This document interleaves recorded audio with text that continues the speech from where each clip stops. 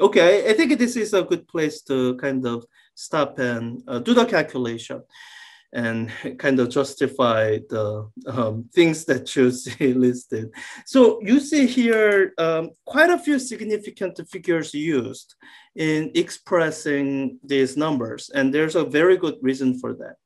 If we had stopped at three significant figure, for example, for proton mass at 938 mega electron volt per c squared, and mass at 940 mega electron volt per c squared, then okay, there's some difference between them, difference of two mega electron volt per c squared.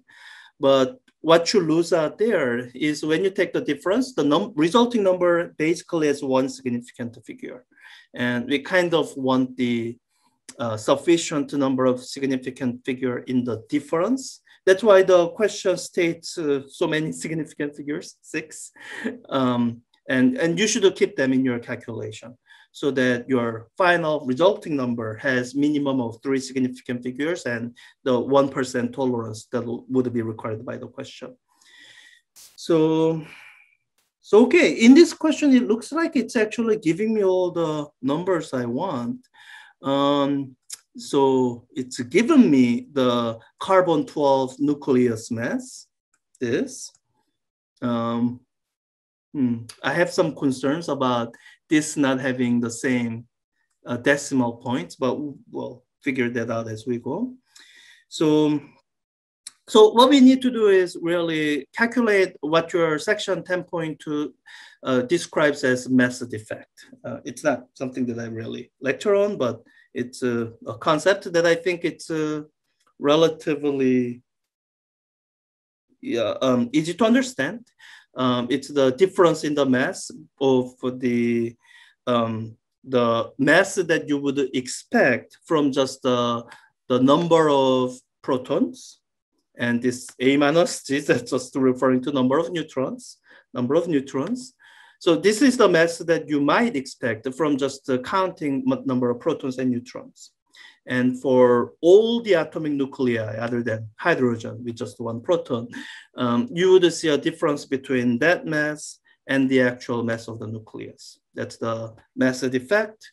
And, um, and I think all, all, for all the nuclei, nuclei, this number should be a positive number. And that's, uh, uh, we interpret it as the binding energy. So that's what the question is asking we just uh, work through the calculation. Let's just quickly do that.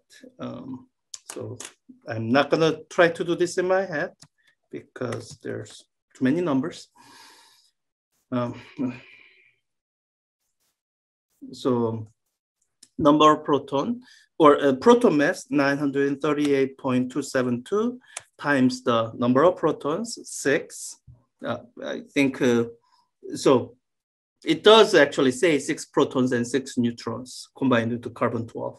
If I didn't know that, or if question didn't give it, I would uh, look it up in the um, the periodic table to see that carbon is the sixth element. if I needed to, I would do that. So that plus 939.56965 um, times six. So that's the total mass of the free protons and free neutrons. And you can see comparing this number to that number that it is bigger. So let me subtract 11175. And I guess I will just hope that um, whatever decimal point it's uh, rounded off is not significant. Um, yeah, so it should be 92.0 mega electron volt per c squared.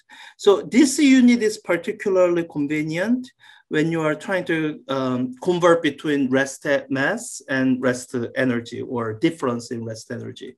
You basically ignore the c squared and that just automatically get you the energy. So, uh, so 92 uh, mega electron volt. And just because I'm a little bit concerned, uh, let me look up what the actual rest energy of C12 um, nucleus is, just so that I can see that numbers that the problem gives me are actually correct numbers. Um, so I would look it up as uh, carbon 12 mass in mega electron volt per c squared. And Wolfram Alpha should give me a number. Yeah.